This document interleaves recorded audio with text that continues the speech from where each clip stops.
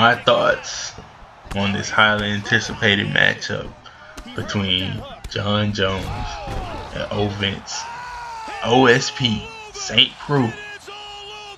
Man, my thoughts for this historical matchup truly is